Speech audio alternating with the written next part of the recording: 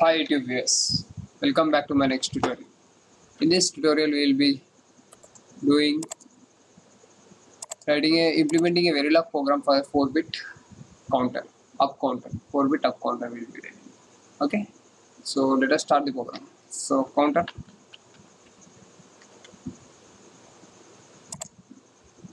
as for a counter I require a clock and output nothing but y that is also 4 bits that is nothing but 3 down to 0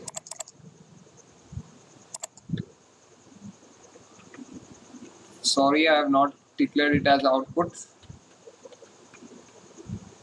Okay right. Declare always output as a registers. 3 down to 0 fine now always at the rate of positive edge of pos edge of clock y begin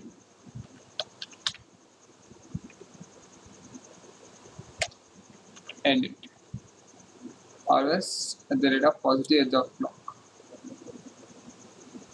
I require for a counter I require reset also input as reset. Because at first I want to reset it. So it will be coming to 0 or from where the counter one will start if they if y doesn't have any value. So if reset is logically equals to 1 dig b 1 if reset is equals to 1 then y should be equals to 4 dig b 0 0 0 0 okay. Else if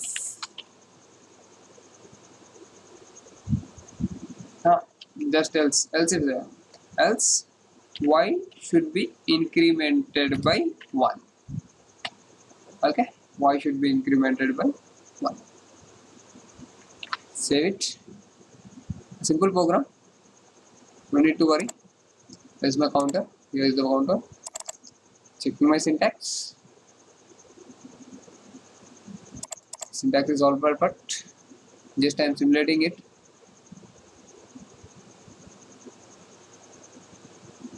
Simulation done successfully. At first I need to reset it. So force constant I want to give it 1 and here force constant. For it's not clock it is.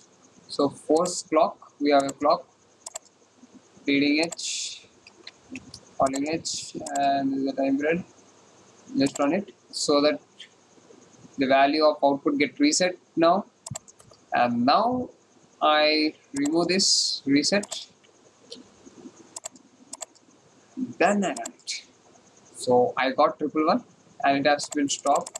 Let us see it has whether it has counted every for every clock or not. So so basically clock start from here Uh, so as usual let us go from here. And let us go there. So it was zero for, for this clock cycle. Next one next incremented oh wonderful. It has successfully done its operation till all ones and then again it has started from zero. So counter is working perfectly perfectly. So we'll be seeing the test bench in my next video. Thank you for watching this